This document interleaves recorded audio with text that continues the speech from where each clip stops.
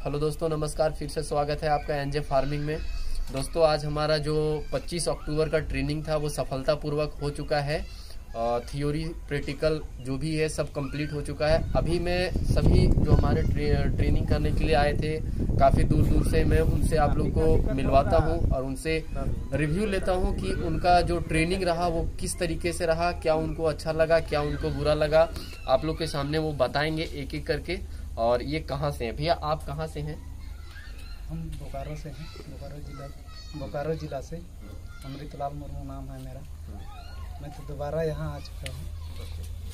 आप ट्रेनिंग लिए ट्रेनिंग में आपको क्या लगा कि मतलब ट्रेनिंग ऐसा आदमी को लेके करना चाहिए या विदाउट ट्रेनिंग हो सकता है काम? नहीं ऐसे विदाउट ट्रेनिंग नहीं हो सकता है काम के लिए। बेहतर होगा ट्रेनिंग तो आप ट्रेनिंग लिए तो आपको ऐसा लगा कि हाँ हम ट्रेनिंग ले सकते हैं तो ट्रेनिंग लेने के बाद जो है सो हम एक अच्छा फॉर्म बना सकते हैं। जी हाँ। चलिए ठीक है। अब हम थोड़ा दूसरे भाई से जानते हैं। आप अपने बारे में परिचय दीजिए। मैं कैमूर बिहार से हूँ और मेरा नाम जी के राव गौतम है। तो मैं पिक फ़ार्मिंग करने के लिए बहुत दिन से सोच रहा था और बिना ट्रेनिंग के कोई भी कार्य में सफलता नहीं मिलती है। तो आप बोल रहे हैं कि बिना ट्रेनिंग का कोई कार्य सफलता नहीं मिलता है तो आपको ऐसा लगा कि यहाँ से ट्रेनिंग करने के बाद बेहतर हम कर सकते हैं या फिर इस ट्रेनिंग में भी आपका कुछ खामियाँ दिखा? नहीं खामियाँ तो कुछ ऐसा नहीं दिखा जो भी अच्छा ही हुआ और आगे प्रोग्रेस के लिए बहुत अच्छा ट्रेनिंग हमको मिला और इससे हम बहुत परिवर्तन कर सकते हैं। देखिए ये जो आए हुए हैं ये बिहार से आए हुए हैं काफ़ी दूर से आए हुए हैं कुछ लोगों का कहना रहता है कि हम अदर स्टेट में हैं, हम कैसे जाएँगे? और बहुत लोगों का कहना रहता है कि मतलब कि हम दूसरे कास्ट से बिलोंग करते हैं, हम इस चीज़ को कैसे करें? तो आप इतना दूर से आए हैं और कुछ लोगों का कहना रहता है कि वो अलग कास्ट में है, हम इस चीज़ को कैसे करें? या तो शर्माते हैं, कोई कर रहा है पर शर्माता है तो उसके बारे में आप क्या कहना चाहेंगे? जी, सबसे पहले तो मैं इतना जो सारे मित्र आए हुए हैं, इनके हौसला को मैं बहुत बहुत सराहता हूँ कि ये कार्य को करने के लिए हौसला जो जगह है अपने अंदर, इस देश में देखा जाता है जाति आधार, आधारित पर, कि पिग फ़ार्मिंग सभी लोग नहीं करते हैं, क्योंकि हमारे खास करके बिहार झारखंड, यूपी में जाति से जोड़ा जाता है इस धंधा को, लेकिन यही अदर कास्ट अदर स्टेट में जाते हैं तो वहाँ पे फारवर्ड लोग करते हैं। कहीं मैं ब्राह्मण का, ठाकुर का, बहुत सारे लोगों का मैं फार्म देख रहा हूँ, आज पंद्रह सौ, दो हज़ार जानवर उनके अंदर है, उनके फार्म में। तो कहीं ना कहीं ये सब अपने अंदर जातिवाद और ये घृणा को हटा करके हमको इस बिज़नेस को करना चाहिए क्योंकि बहुत अच्छा बिज़नेस है और इसमें बहुत अच्छा रुचि हम लोगों को रखना चाहिए। जैसा कि भाई ने बताया कि जाति विशेष के ऊपर कोई भी बिज़नेस नहीं होता है जो लोग घृणा करते हैं इस चीज़ से, उनको तो मैं कुछ नहीं कह सकता हूँ बट किन्हीं के अगर मन में है कि हमें इस लाइन में जाना है और कुछ अच्छा मुकाम तक जाना है तो आप इस लाइन को कर सकते हैं। अब मैं पूछता दूसरे से पूछता हूँ कि वो कहाँ से आए और उनका क्या राय है इस ट्रेनिंग के विषय में। जी सभी को नमस्कार दोस्तों और मैं गिरिडीह जिला से आया हुआ हूँ। मेरा नाम है बबलू राज मरांडी और मेरा जो तीसरी है मेरा वो प्रखंड। तीसरी है और थाना लोका नैनपुर पड़ा। और जो कि यहाँ पर खास बात है कि हम लोग ट्रेनिंग के लिए आए हुए थे पिक फॉर्म के लिए, जो कि काफ़ी दिन से सोच रहे थे कि क्या करें क्या करें, और लास्ट में यूट्यूब में इनका वीडियो मिला, जो कि यूट्यूब में देखने के बाद और काफ़ी यूट्यूब में जानकारी लिए तो पता चला कि ये भी बहुत अच्छा काम है और इस काम को करके हम आगे की ओर बढ़ सकते हैं, अपना लाइफ को चेंज कर सकते हैं। इसलिए मैं ट्रेनिंग के लिए आया था तो आपने ट्रेनिंग किया तो आपका ट्रेनिंग का अनुभव कैसा रहा? आपको आगे काम करने में क्या कुछ परेशानी होगी या फिर आपको फिर से ट्रेनिंग करने का ज़रूरत है? ऐसा ट्रेनिंग मिला कि जैसे कि हम इस ट्रेनिंग जो लिए, इससे हम आगे की ओर बढ़ सकते हैं। ट्रेनिंग की ज़रूरत नहीं पड़ेगी। और पड़ेगी भी तो यहाँ पर इतना लोग हैं जो कि हम लोग ग्रुप बनाए हुए हैं और उनसे भी हम सलाह ले सकते हैं। जैसे कि इनका कहना था कि एक बार अभी ये यहाँ से ट्रेनिंग ले ली है, अब दूसरा ट्रेनिंग इनको करने का ज़रूरत नहीं है। अगर कोई भी इनको प्रॉब्लम होता है तो हम सबका एक ग्रुप होता है जिसमें कि आपको सपोर्ट किया जाता है, जो कि हमेशा किन्हीं को भी सपोर्ट किया जाता है। अगर आप ट्रेनिंग ले या तो ना ले मैं पहले भी बोला था वीडियो में। ठीक है, एक अगले से पूछता हूँ मैं क्योंकि तो वो भी काफ़ी दूर से आए भी आप थोड़ा बताएँगे, थोड़ा नज़दीक आ जाइए। मेरा नाम चरकू मुर्मू हुआ, बोकारो डिस्ट्रिक्ट से, प्रखंड गोमिया पड़ता है गाँव, बारी डारी टोला बरैया पड़ता है। और काफ़ी दिन से मैं एक दो गो सुगर को रखता था। उसमें देखा कि जल्दी नहीं बढ़ता है। सुगर को देखें कि एक साल में लमसम पचास भी नहीं जाता है, पचास के जी नहीं होता है। तो कहीं कहीं घूम के देखा तो कहीं देखे नौ दस महीना में लमसम पचास के जी हो जाता है। तो हमको यूट्यूब में देखने को मिला तो उसमें देखें कि ट्रेनिंग के बिना सुअर को रखना थोड़ा रह जाएगा ज़िंदा, लेकिन उसका ग्रोथ सही से नहीं हो पाएगा। लास्ट में नंबर देखे इनका तो कॉल करके बात किए तो बताए कि 25 को डेट है, आप आ सकते हैं। तो पता उता लिए उसके बाद हम यहाँ आए। ट्रेनिंग लिए यहाँ तो हमको लगा कि आगे बढ़ सकते हैं। इसमें हमको लगता है कि दोबारा इनसे सलाह लेने की ज़रूरी नहीं पड़ेगी। जैसा कि आप देख सकते हैं कि जिन्होंने ट्रेनिंग लिया सबका एक अलग अलग राय है। जिनका अ, सबका कहना है कि ट्रेनिंग लेने के बाद ही आप इस कार्य को सफल हो पाइएगा इस लाइन में। तो अगला से फिर जानते हैं भैया ये एक भाई है हमारे जो बोकारो स्टील के हैं। वो काफ़ी दिन से फ़ार्मिंग कर रहे थे और कर रहे हैं और इनको छोटी छोटी बाधाएँ होती थी जिनसे इनको लगा कि नहीं, हमको थोड़ा ट्रेनिंग ले लेना चाहिए। तो मैं उनसे थोड़ा सा जानकारी लूँगा। मेरा नाम हुआ राजकुमार हंसदा। मैं बोकारो ज़िले से रहने वाला हूँ। मेरा प्रखंड गोमिया है। पंचायत बारी डाड़ी ग्राम चगड़ी, ब्राकेट रंगामाटी से मैं हूँ। और मैं दो साल से पीक फार्म कर रहा हूँ। कुछ कुछ ऐसा टॉपिक है कि हमको समझ में नहीं आ रहा था। इसी चलते यूट्यूब में देख के हम सर्च मारें। उसके बाद हम भैया से बात के नंबर देखें। उसके बाद हम ट्रेनिंग लेने आए हैं। बहुत हमको सफलता मिली ट्रेनिंग करके।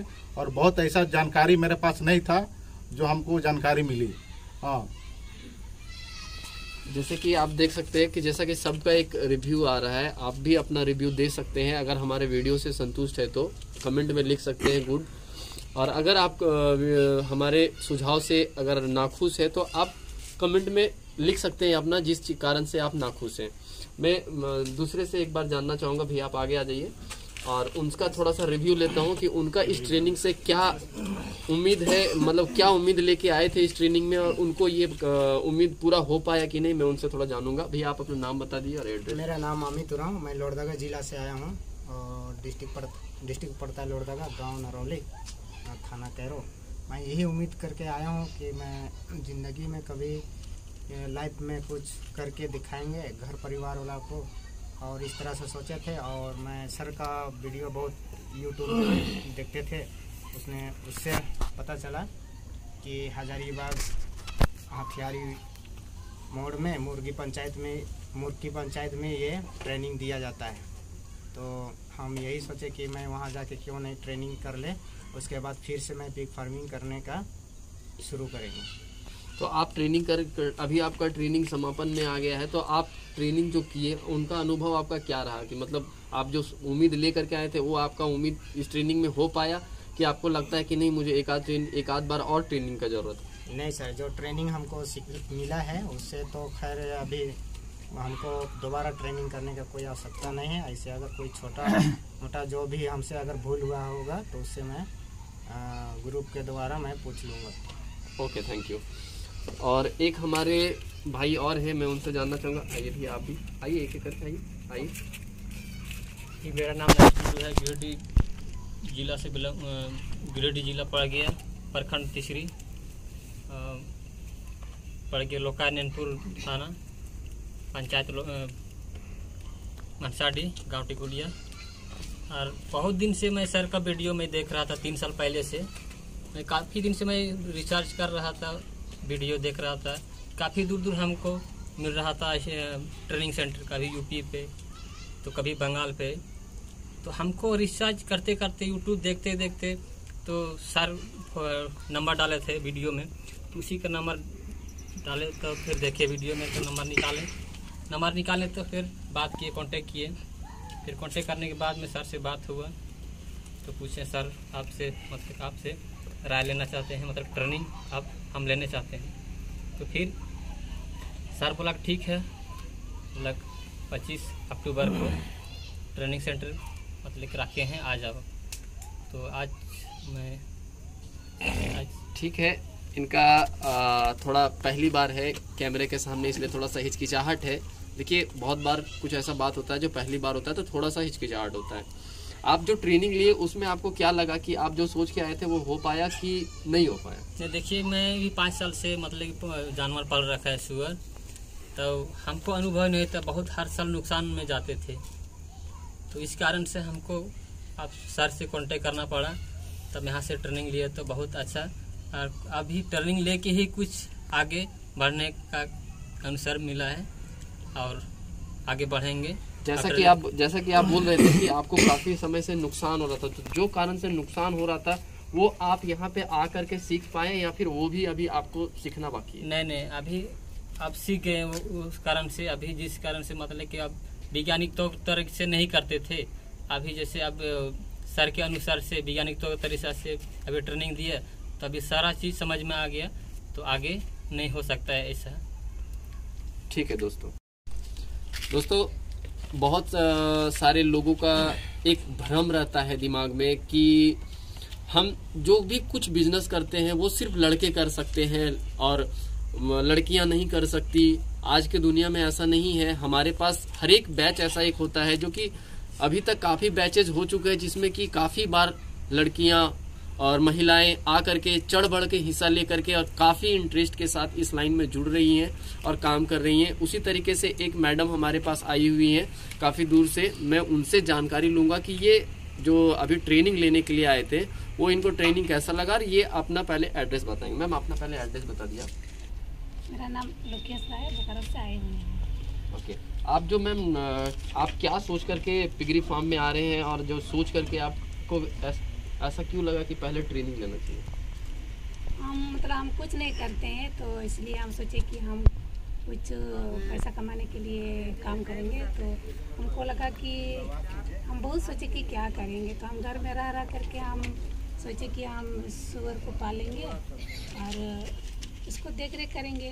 थोड़ा बहुत पैसा आएगा मेरा परिवार अच्छा से चलेंगे। इसी सोच के मतलब यहाँ हमको सुना कि यहाँ ट्रेनिंग चल रहा है। इसलिए यहाँ आए हुए हैं। ट्रेनिंग ले लिए सर से अच्छा से ट्रेनिंग ले लिए। समझिए कि हम अच्छा से पाल सकेंगे। तो जो सोच करके आप आए थे ट्रेनिंग करने के लिए वो आपका हो पाया? आपको लगा कि ये ट्रेनिंग हम किए तो इसमें हम मतलब कि अब आगे जो भी हमारा फ़ार्मिंग होगा वो हम उसको अच्छे तरीके से कर पाएँगे? हाँ अभी तो लगता है अच्छा से कर सकेंगे। चलिए, ठीक है दोस्तों। अगर आप चाहते हैं हमारे से ट्रेनिंग करना तो आप दिए हुए नंबर पे आप कांटेक्ट करके 15 नवंबर को एक नेक्स्ट ट्रेनिंग होने वाला है, उसमें आप सीट बुक करवा सकते हैं।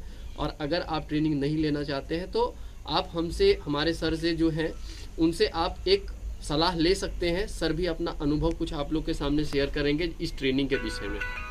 मेरा नाम पारसनाथ मातो हुआ और मैं बड़क- गाँव प्रखंड से हूँ, और मैं यहाँ जब से पीक फ़ार्मिंग में जब से ट्रेनिंग चल रहा है, तब से मैं आ करके और सबको ट्रेनिंग दे रहा हूँ।